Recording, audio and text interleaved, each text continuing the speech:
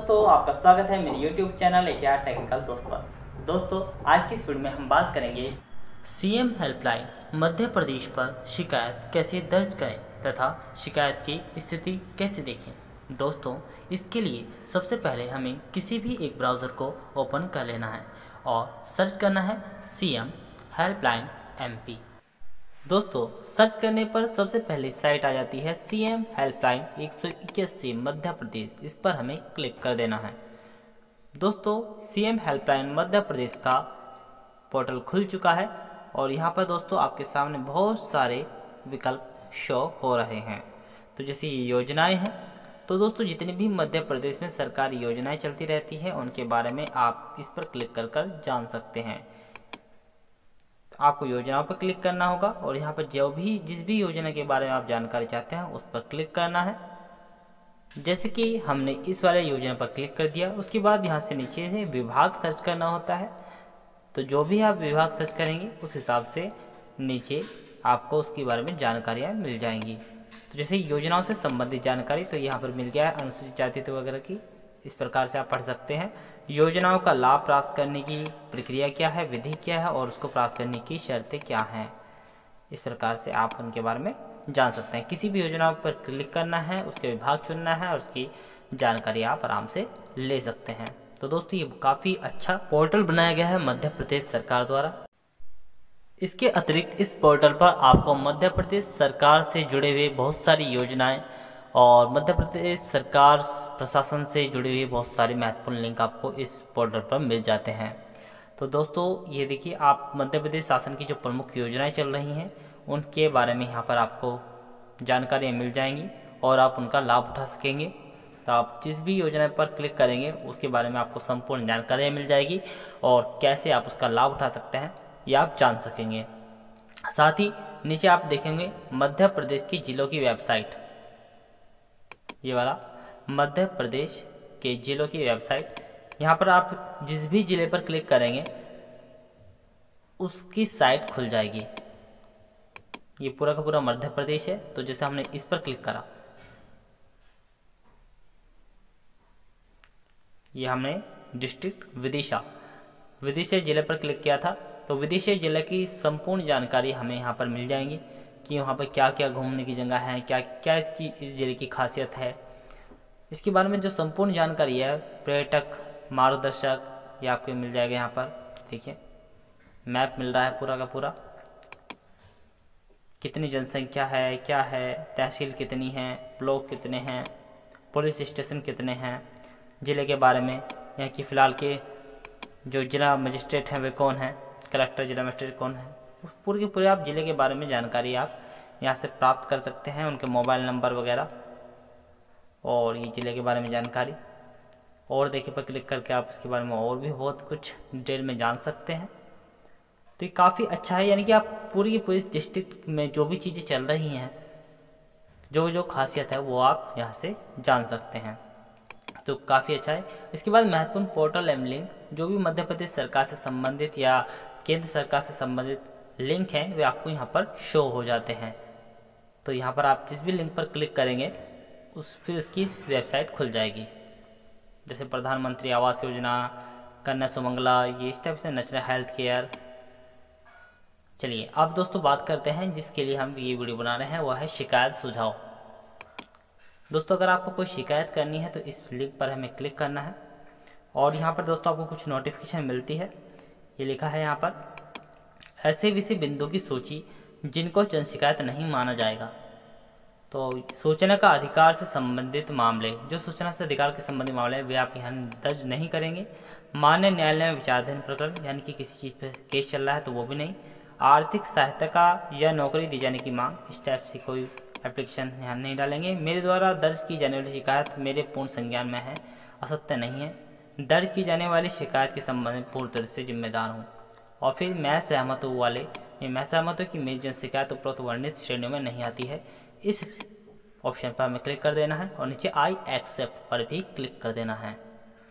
यानी कि आपने जितनी भी ये आपको जानकारियाँ मिली हैं यहाँ पर, आपने उनको सही से पढ़ लिया है और इसी हिसाब से आप शिकायत को दर्ज कर रहे हैं। यहाँ पर लिखा है, हिंदी में शिकायत दर्ज करने के लिए गूगल इनपुट टूल डाउनलोड करने के लिए यहाँ क्लिक करें। दोस्तों, अगर आप हिंदी में शिकायत दर्ज करना चाहते हैं तो गूगल इनपुट हिंदी टूल का यूज़ कर सकते हैं। हिंदी जो कि इंग्लिश टू हिंदी बनाता है तो उसको आप सर्च कर सकते हैं। यदि आपने संरचना हिंदी टाइपिंग टूल ये दोस्तों मैं संरचना यूज़ करता हूँ तो फिर आपको कोई ज़रूरत नहीं है। इसके बाद शिकायतकर्ता की जानकारी। सबसे पहले आपको मोबाइल नंबर डालना है, शिकायतकर्ता का। फिर इसके बाद आधार नंबर, फिर इसके बाद शिकायतकर्ता का नाम, फिर इसका उपनाम। यदि कोई अन्य मोबाइल नंबर है तो वो भी आप यहाँ पर डाल सकते हैं। इसके बाद ईमेल अगर आपके पास है तो वो भी डाल सकते हैं। फिर जेंडर, मेल है कि फीमेल है, यानी कि पुल्लिंग है कि स्त्रीलिंग है, वो आपको सेलेक्ट कर लेना है। निवासरत जिला, यानी कि जो शिकायत करता है, वो कहाँ का रहने वाला है, किस ज़िले का रहने वाला है, उसको सिलेक्ट करना है। इसके बाद निवासरत ब्लॉक। ब्लॉक कौन सा है? किस ब्लॉक का है? उसको सिलेक्ट करना है। उसके बाद निवासरत ग्राम पंचायत या शहर। उसको सिलेक्ट करना है। और उसके बाद पता। यहाँ पर फुल एड्रेस यानी कि मोहल्ला वगैरह जो भी कुछ है, वो आप यहाँ पर भर सकते हैं। यहाँ पर आपको फुल एड्रेस लिखना है अपना। नीचे दोस्तों आपको मिलता है व्हाट्सएप नोटिफिकेशन के लिए। यदि आप व्हाट्सएप पर नोटिफिकेशन चाहते हैं तो आपको इस विकल्प पर भी क्लिक कर देना है। इसके बाद शिकायत का पंजीयन। शिकायत के आधार पर शहरी अथवा ग्रामीण का चयन करें। यानी कि जो आपकी शिकायत है, वो किसी शहरी क्षेत्र से संबंधित है या फिर ग्रामीण क्षेत्र से संबंधित है तो उसको आपको सेलेक्ट करना है। चलिए, हमने सेलेक्ट कर लिया है यहाँ पर ग्रामीण क्षेत्र को। आपको अपने अनुसार क्षेत्र को सेलेक्ट करना है। इसके बाद विभाग यहाँ पर आपको अपनी शिकायत के अनुसार विभाग का चयन करना होता है। जैसे आयुष विभाग, और शिक्षा विभाग उद्यमी ऊर्जा विभाग, किसान कल्याण, कुटीर एवं ग्रामोद्योग विभाग, यहाँ पर बहुत सारे विभाग आपके सामने शो हो रहे हैं। तो जो भी आपको सही लगे, उस विभाग का आपको यहाँ से चयन कर लेना है। तो चलिए दोस्तों, हम यहाँ पर उच्च शिक्षा विभाग को सिलेक्ट कर लेते हैं। अब आपको सेलेक्ट करना होता है उप विभाग। यहाँ पर आपको ऑप्शन मिले जैसे उच्च शिक्षा, जीबाजी विश्वविद्यालय, ये भोज, ये जितने भी विश्वविद्यालय हैं यहाँ पर आपके सामने आ चुके हैं। तो जिससे भी संबंधित आपकी शिकायत है, उसको आपको सेलेक्ट करना होगा। अब दोस्तों आपको मिलता है शिकायत की श्रेणियाँ। यहाँ पर आपके सामने शिकायत की श्रेणी होंगी, जैसे अटल बिहारी विश्वविद्यालय से संबंधित। अटल बिहारी विश्वविद्यालय भोपाल से, या अन्य अटल बिहारी विश्वविद्यालय भोपाल, या विभाग विभाग के अधिकारी, अनुकंपा पैसे से संबंधित। तो उस विषय को आपको सेलेक्ट करना है। और उसके बाद दोस्तों शिकायत क्षेत्र का जो जिला है, उसको सेलेक्ट करना है। फिर इसके बाद ग्राम पंचायत या शहर है, जो भी है, उसको सेलेक्ट करना है। फिर शिकायत है तो ग्राम, फिर ब्लॉक और फिर विवरण। यहाँ पर आपको शिकायत का पूरा का पूरा विवरण भरना है। तो दोस्तों, यहाँ पर आपके सामने देख रहे होंगे, कुछ टेक्स्ट है तो वो आपके जो आपने विषय चुना है, उसके अनुसार यहाँ पर आ चुका है। तो आप उसमें थोड़ा बहुत एडिट करके, उसको संशोधन करके अपनी शिकायत को दर्ज कर सकते हैं या आप पूरा का पूरा मिटाकर एक नया शिकायती विवरण लिख सकते हैं। दोस्तों, यहाँ पर आपको डॉक्यूमेंट अपलोड करने के लिए एक ऑप्शन मिलता है। यदि आपके पास कोई पिक्चर है या कोई डॉक्यूमेंट है तो आप यहाँ से अपलोड कर सकते हैं। चूज़ फ़ाइल पर क्लिक करना होता है और कंप्यूटर में जहाँ पर भी आपकी जो फ़ाइल है, उसको सेलेक्ट करना है और ओपन बटन पे क्लिक कर देना है, जिससे आपकी जो फ़ाइल है, वो यहाँ पर अपलोड हो जाएगी। और उसके बाद जन शिकायत को दर्ज करने पर क्लिक करके अपनी शिकायत को आपको दर्ज करना होता है।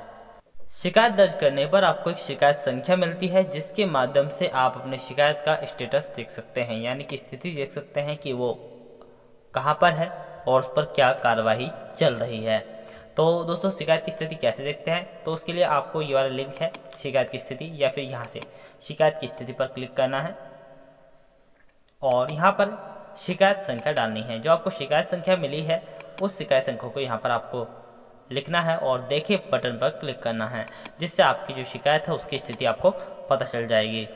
इसके अतिरिक्त प्रधानमंत्री पोर्टल पर शिकायत कैसे करते हैं, उसकी स्थिति कैसे देखते हैं, उत्तर प्रदेश मुख्यमंत्री पोर्टल पर शिकायत कैसे दर्ज करें, उसकी स्थिति कैसे देखें अनुस्मारक, फीडबैक इत्यादि कैसे भेजें, बिहार लोक शिकायत, बिहार सरकार को ऑनलाइन शिकायत कैसे करें, उसकी स्थिति कैसे देखें, राजस्थान मुख्यमंत्री को ऑनलाइन शिकायत कैसे करें, उसकी स्थिति कैसे देखें, उत्तराखंड सीएम हेल्पलाइन, उत्तराखंड सरकार को ऑनलाइन शिकायत कैसे करें, उसकी कैसी स्थिति देखें, महाराष्ट्र मुख्यमंत्री को ऑनलाइन शिकायत कैसे करें तथा शिकायत की स्थिति कैसे देखें, इन सभी विषयों पर मैं वीडियो बना चुका हूँ, जिनके लिंक आपको डिस्क्रिप्शन बॉक्स में मिल जाएँगे। उम्मीद करता हूँ दोस्तों ये वीडियो आपको बहुत ही ज़्यादा पसंद आई होगी। अच्छी लगी है तो लाइक कर दीजिए कमेंट्स कर दीजिए शेयर कर दीजिए और अभी तक आपने मेरे चैनल को सब्सक्राइब नहीं किया है तो प्लीज़ सब्सक्राइब भी कर दीजिए बेल आइकन पर क्लिक कर दीजिए, क्योंकि जो आने वाली वीडियोस हैं, उनकी नोटिफिकेशन आपको अपना आप